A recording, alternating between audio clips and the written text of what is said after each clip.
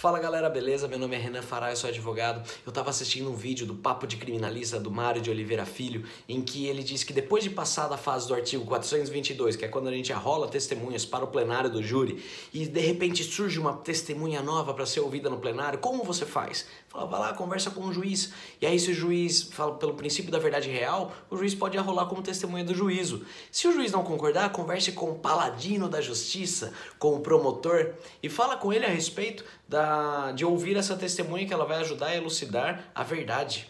Mas se nada der certo, você pode entrar então com habeas corpus. Aí eu comentei o vídeo dele falei que eu tenho um caso desse na prática, porque o cliente me contratou depois do, artigo, do advogado ter perdido o prazo do artigo 422, então ele está indo para o plenário sem nenhuma testemunha defensiva.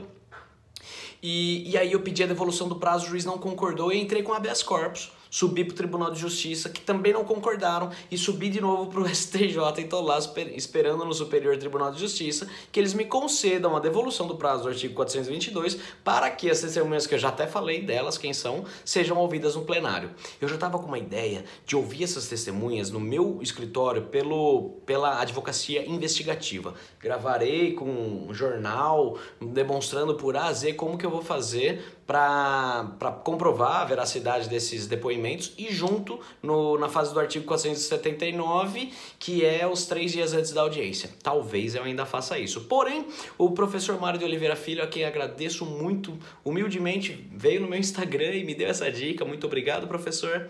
Uh, ele falou assim, Renan, faz uma ação de justificação criminal assim eu fiz. Então essa ação de justificação criminal, que é uma cautelar que geralmente as pessoas usam isso para revisão criminal, estou fazendo para que sejam ouvidas as testemunhas que eu quero, para que assim seja preservado o direito do contraditório e da ampla defesa para o Ministério Público para que eles possam fazer perguntas para as minhas testemunhas e aí serão lidos e ouvidos, no caso assistidos, os depoimentos na fase do plenário do no, no plenário do júri, na segunda fase do júri. Olha que lambança, que, que rebolada que a gente tem que dar para ouvir as testemunhas e fazer as devidas provas para que a justiça seja feita. Para que sejam ouvidos os dois lados, para que tenha paridade de armas, para que haja imparcialidade dos jurados, para que o jurado tenha todos os subsídios para julgar com total serenidade, total tranquilidade, para dizer se é certo ou errado, se é culpado ou se é inocente. Então isso cabe ao advogado de não desistir, de não parar no primeiro, segundo, terceiro, 20 nãos que a gente recebe, a gente tem que continuar lutando sempre. Um grande abraço.